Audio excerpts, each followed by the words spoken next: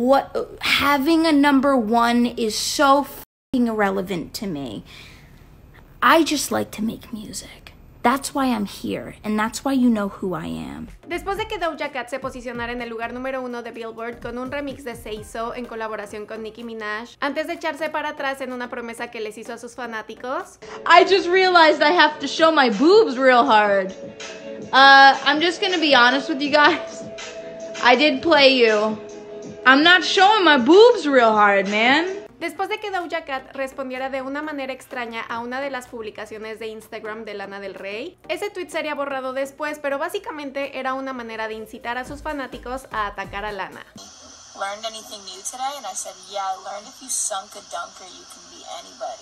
Después de que Doja Cat emitiera una declaración negando las acusaciones de ser racista, después de que salieron a la luz imágenes de su participación en una sala de videollamada de Incel, que es una abreviatura de la expresión Involuntary Celibate o celibe involuntario, la cual es una subcultura que se manifiesta como comunidades virtuales de personas que se dicen ser incapaces de tener relaciones sexuales y está conformada en su mayoría por hombres misóginos y supremacistas blancos.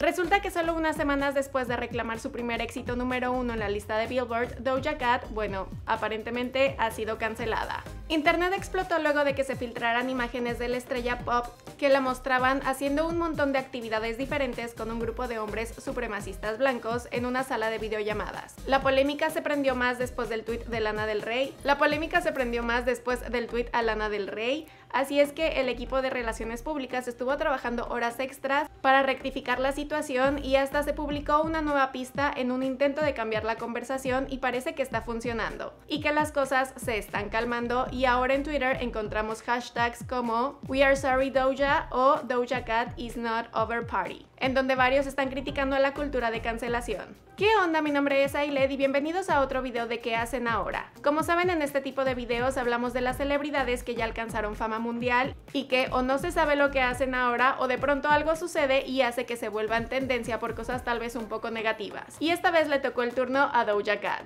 Y miren, me estaba esperando a ver cómo seguía desarrollándose esta historia para hacer el video, pero creo que las cosas ya se están calmando. Y les puedo contar todo lo que pasó y hablar un poco más de la intensa que es esta cultura de cancelación. Espero que el video les guste y les dé la información que están buscando. Si es así, ya saben que me lo hacen saber con sus likes, compartiendo el video y suscribiéndose al canal. Y por supuesto, síganme diciendo en la parte de los comentarios de quién más quieren que hable en los próximos videos. Bueno, ahora sí, empecemos.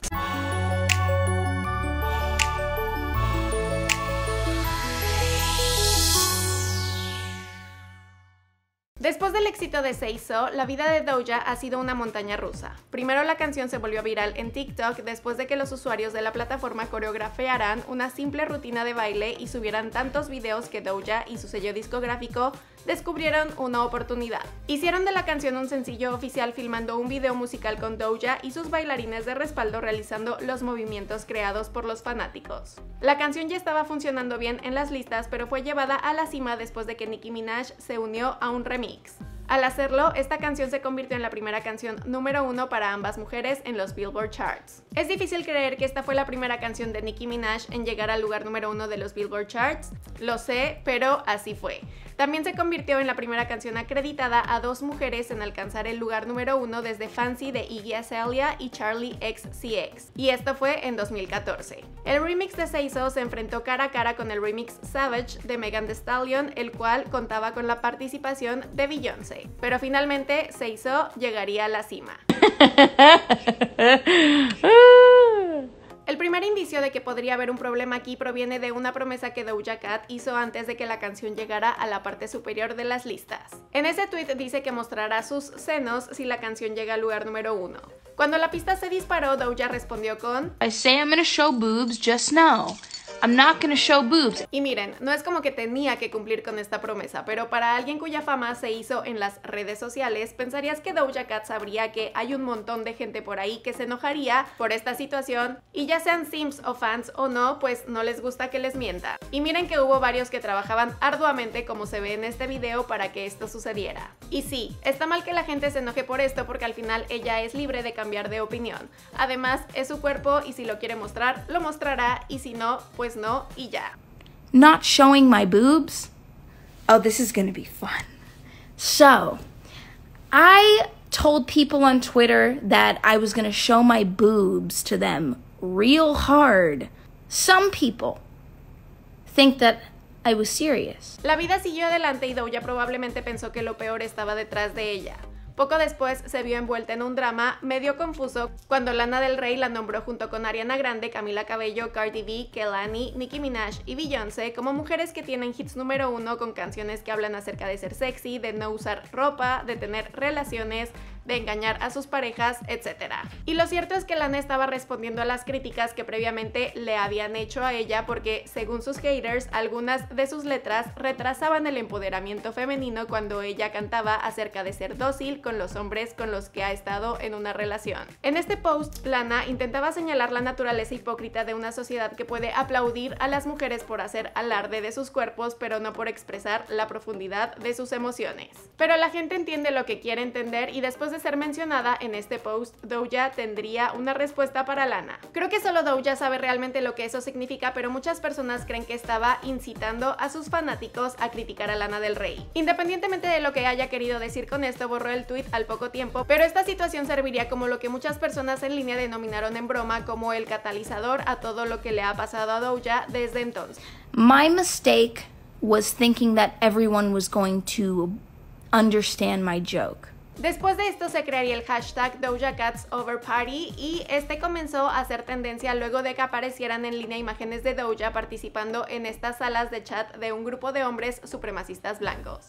Como si eso no fuera lo suficientemente malo, una canción que escribió en 2015 llamada Din Do Nothing también se filtró. Para aquellos de ustedes que no saben, Din Do Nothing es un insulto racista que se burla de las víctimas de la brutalidad policial. Doja subió un video a Instagram disculpándose en donde dijo I'm very sorry to anybody who's taken offense, to anybody who's to anybody who's who I've hurt. Ese fue un gran golpe a su reputación y más con todo lo que está sucediendo actualmente en el mundo.